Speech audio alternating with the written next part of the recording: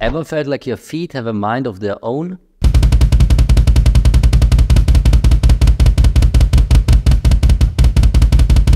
I've met countless drummers who shared this exact frustration. But today I'm revealing a 5-step plan that will help you play tight, single strokes with your feet. You won't want to miss this one. How many times have you faced this exact problem right here? Every time I attempt the ankle technique, my feet tend to sync up and hit in unison. I don't know what to do to get them to alternate. Let me tell you, you are in good company, my friend. The struggle with playing tight single stroke double bass is a common hurdle. But today we are not just addressing it, we are conquering it. This is the 5-step plan I've used myself to get rid of this frustration and it worked great for our students at the Drum Technique Academy as well. So stay with me, especially for step number 3. Trust me, it's transformative. Before we delve into the nitty gritty, let's set a solid foundation right here. So right now we first want to focus on practicing with each foot separately for long periods of time. Talking about playing for 5 to 10 minutes straight without stopping. When using the ankle technique, the most comfortable starting tempo for most drummers is between 160 to 190 beats per minute. So pick and choose a tempo that's comfortable for you. This is going to be your workout tempo for all upcoming steps. So let's start out by playing eighth notes with your leading foot, in my case it's the right foot, for 5 minutes straight. Then continue with the other foot and repeat the same exercise again. During this workout, make sure that both feet are placed around the same spot on the footboards. The main goal of this first step is to be able to play at one specific tempo for long periods of time. I actually have seen this quite often that drummers start combining both feet with the ankle technique without being able to play at the same tempo for long periods of time with each foot separately. That, my friend, is a big no-go because if you aren't able to play the specific tempo with both feet easily, then combining both feet to play double bass, especially with the ankle technique, will not work. When practicing, also make sure that you lock in with the metronome at all times. So once you're done with this first exercise, let's continue with step number two. This one brings another dimension into play. Ever thought how your hands can affect the double bass playing? Step 2 is all about coordination. Right now we want to take away some of our focus from our feet and shift it towards our hands. So the feet are still playing eighth notes with each foot separately, 5 minutes each at first, and now we add in our hands. Eighth notes with your right hand on the hi-hat or the right cymbal, and we also want to add the backbeat on 2 and 4 or on 3 of every bar. So again, that's a 10 minute exercise for both feet and the first step of shifting our focus away from our feet while they are still playing tight to the click. The main goal of this second exercise is to test if we are able to stick to the ankle technique, play tight and relax to the click even if we have to focus on something else like our hands in this case. And now let's take this even a step further because with step number 3 we integrate the well-known classic book Stick Control.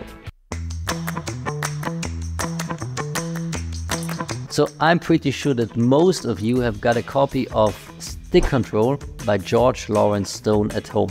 So for this exercise we are going to combine the basic stickings of the first page of Stick Control with our feet. The first basic stickings are singles leading with your right hand, right, left, right, left, then singles leading with your left hand, left, right, left, right, then followed by doubles and so on. The great thing about this third step is that within this one simple exercise we are working on our sight reading, the tightness with our feet, technique and endurance all at the same time.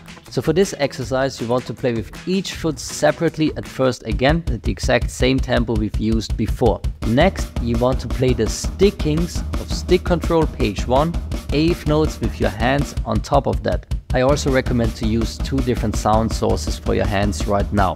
An option would be to split your hands between the hi-hat and the snare drum or like in this example just split your hands between the snare drum and the floor tom. With this exercise we actually have to focus on sight reading. This shifts our attention away from our feet. So if you're able to make it through the whole first page with your hands and your feet are still using the ankle technique and playing tight to the click, then you are ready for step number 4.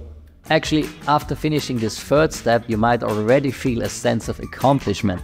But actually, step 4 is the real litmus test. That's the main exercise we're here for.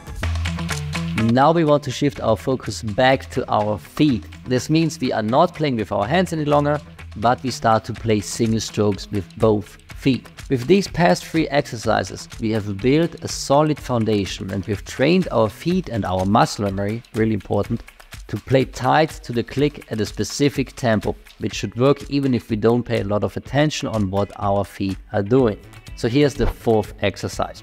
At first, you want to start out by playing eighth notes with your leading foot, in most cases this will be your right foot. Then after a couple of bars, add in the left foot as well. It's important to do this exercise at the same tempo that you used before when you followed steps 1, 2 and 3. We need a tempo that's easy for both feet to play along to. That's actually the trap that most drummers fall into. If you start to combine both feet to play double bass without developing the skill to play at a specific tempo with each foot separately at first, you will struggle and most likely fail. So when combining both feet, one out of three things can happen.